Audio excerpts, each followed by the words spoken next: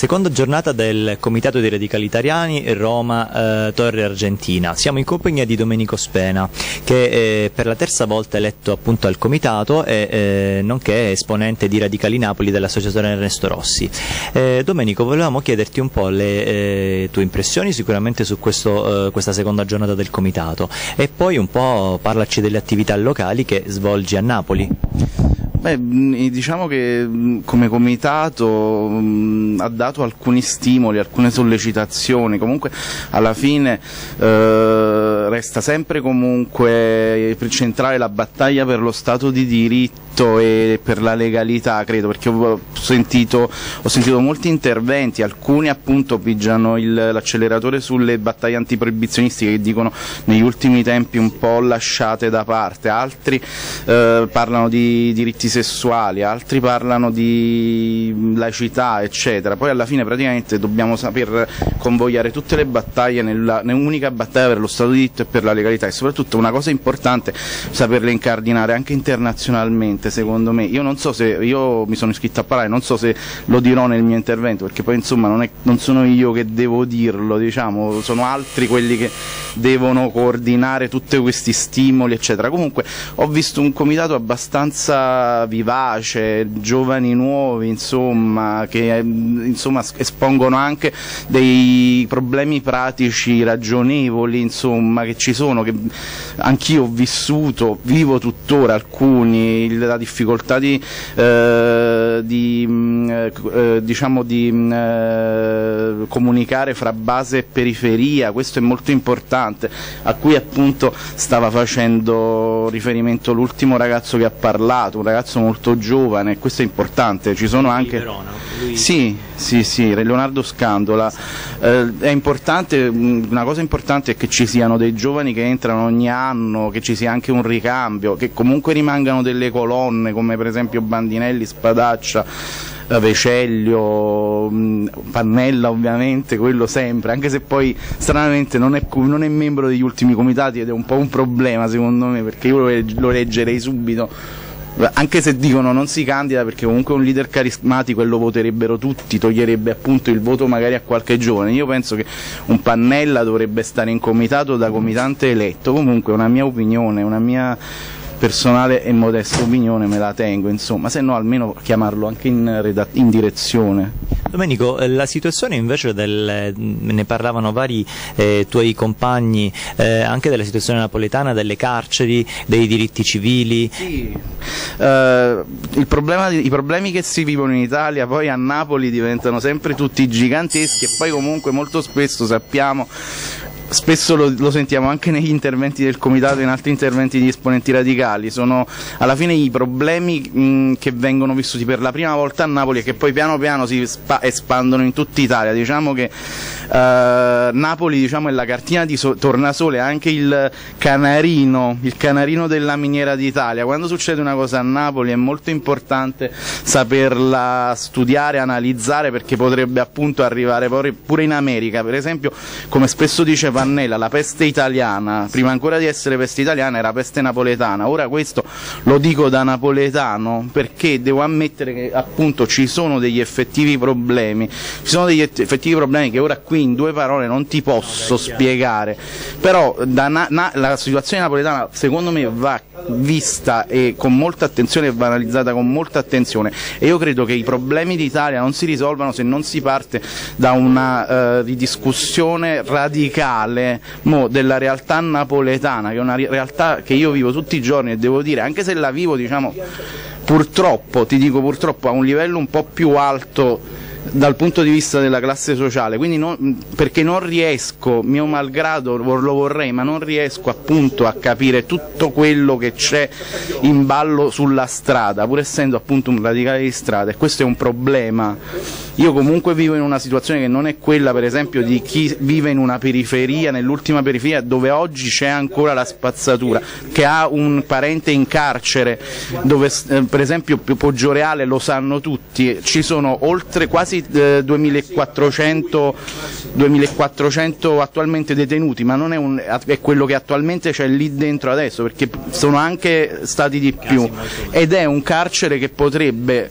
non solo a mio parere, che tra l'altro faccio l'avvocato, non nel penale, ma vado e vengo dal tribunale e il Poggioreale sta lì vicino. Il Poggioreale è un carcere che non solo nella mia opinione, ma nell'opinione di autorevoli scienziati della politica penitenziaria, potrebbe eh, essere utilizzato al massimo, se non chiuso, data la, il, il, problema delle strutture, dell'obsolescenza delle strutture, potrebbe essere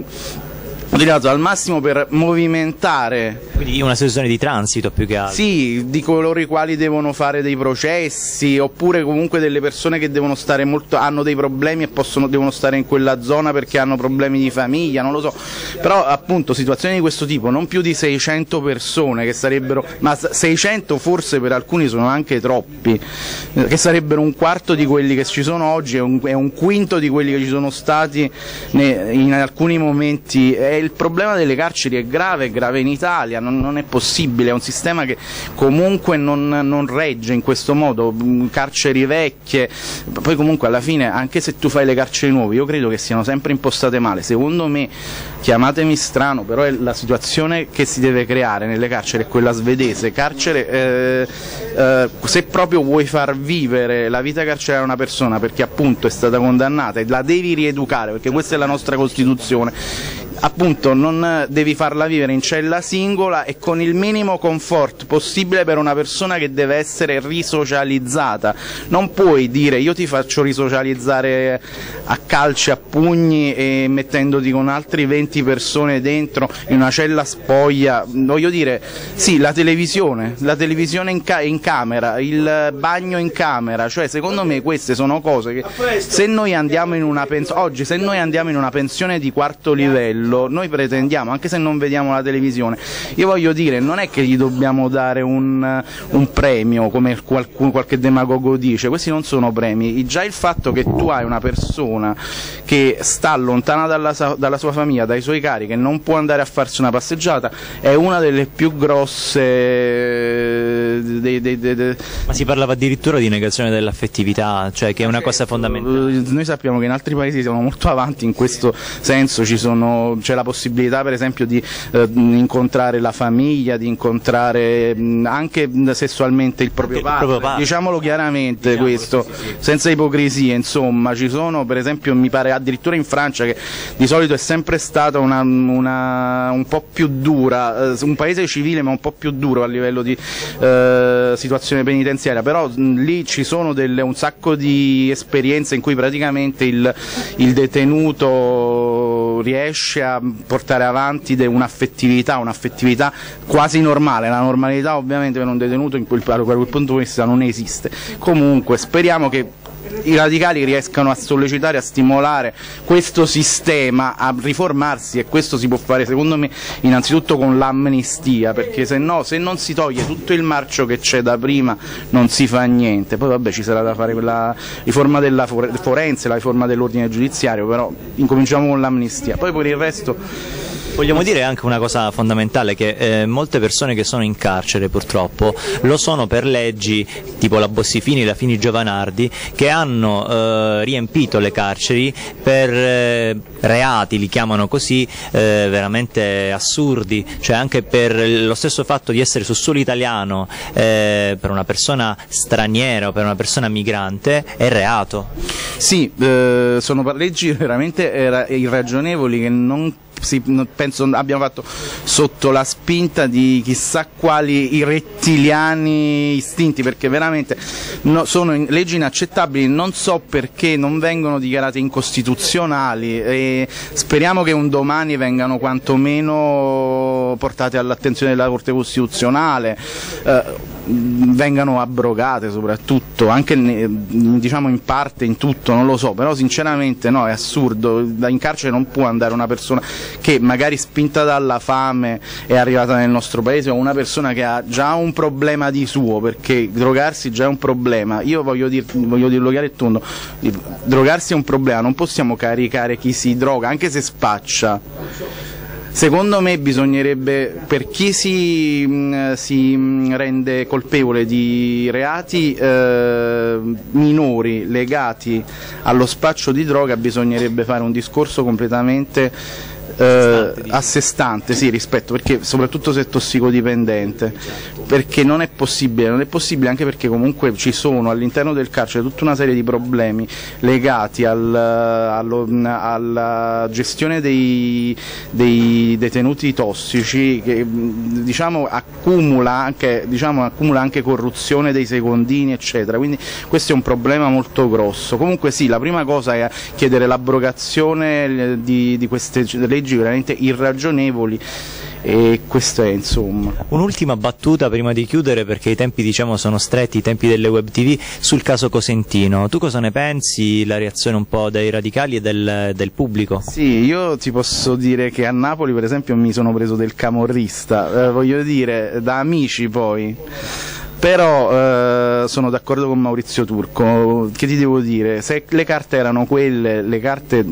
parlano, per il parlamentare parlano le carte che gli vengono mandate oltretutto Maurizio ha chiaramente dichiarato che lui ha approfondito ulteriormente la questione. Se nelle carte, dalle carte non appare che vi siano i tre motivi fondamentali eh, che la legge emette a causa della carcerazione preventiva, questo si, solo questo si poteva fare, insomma, poi comunque Maurizio ha spiegato bene la sua posizione, molto bene di quella che ti posso risintetizzare io. Comunque sono d'accordo tutta la vita. Perfetto. Ringraziamo Domenico Spena, eh, facente parte del Comitato dei Radicali Italiani, nonché dell'Associazione Radicale Napoletana Ernesto Rossi. Grazie a te Domenico. Grazie a voi, scusate un po', è la prima volta che uscivo, grazie.